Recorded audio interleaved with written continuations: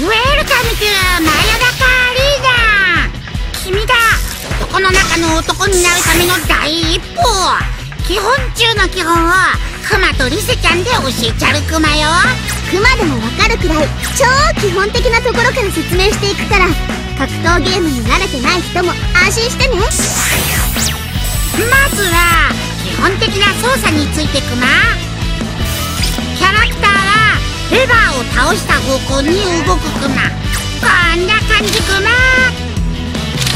ダッシュするときは前に2回素早くシュババッと倒すクマ上に倒せばジャンプ下に倒せばしゃがみができるクマよ。攻撃をガードしたいときは相手と逆方向にググイと倒すクマそれと攻撃は右にある4つのボタンでできるクマ AB ボタンで本体が攻撃 CD ボタンでペルソナが攻撃するクマよ。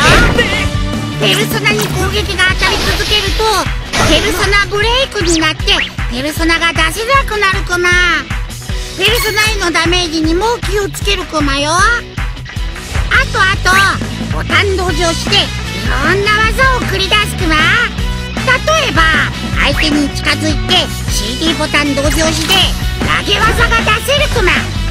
ガードしてる相手でもおりゃーっと投げちゃうクマよ。お次はリセチンが基本的な技の出し方を教えるよ。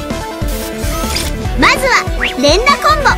相手に近づいて A ボタンを連打するだけで楽にコンボ技が出せちゃうの。お手軽 SP ゲージが溜まってれば SP スキルまでつながっちゃうよ。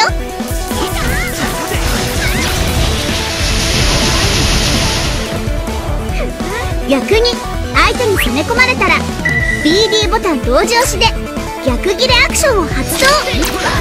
相手からの攻撃を防ぎながら反撃する技だよ。でもこれは強力な技だからヒットポイントがちょっと減っちゃうの。注意してね。それと奥の手。ACD ボタン同時押しのバースト技も相手の攻撃を跳ね返したり形勢逆転の大チャンス。1回使うとバーストゲージが回復するまで使えないよ。お次はボコスカアタック。AB ボタン同時押しで出せるよ。当たったらすぐに A か B ボタンを連打で追撃のボコスカラッシュ。C か D ボタンでボコスカフィニッシュ。相手をぶっ飛ばしちゃうの。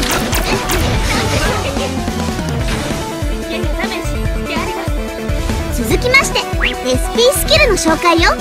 溜まった SP を50消費して個性的な凄技を発動。ヒットポイントが一定以上減るとカッとなって覚醒状態に。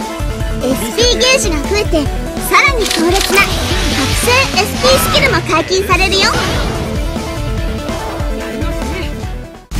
まずはこの辺りをちゃんと覚えておけばいい感じだと思うよ。この他にもガチャガチャっとボタンを押してみるとコンボがつながったりするかも。いろいろやってみて気になりの戦い方を見つけ出そう。